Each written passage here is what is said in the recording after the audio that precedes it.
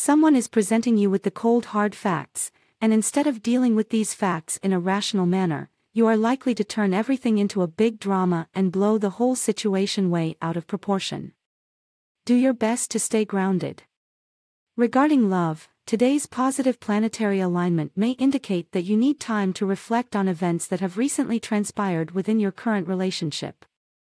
However, there is the chance that you could swing toward a pessimistic state, and begin to imagine that things are a lot worse than they actually are.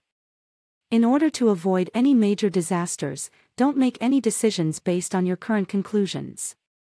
Regarding health, the planetary alignment is emphasizing your emotions. If you set the stage properly, this brief transit will allow you to see more clearly into your mind. Set the stage with yoga, rest, exercise, and a mindful diet. Allow yourself to know what you've been avoiding, ask for awareness so that you can progress along your personal path it's important to eschew all inner judgment.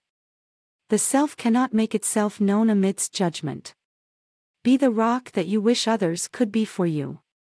In short, your attractiveness and sociability are at a peak today, Aries. Don't hesitate to put both to good use. You will shine brightly at any social occasion, whether you're the host or guest. You radiate warmth and enthusiasm.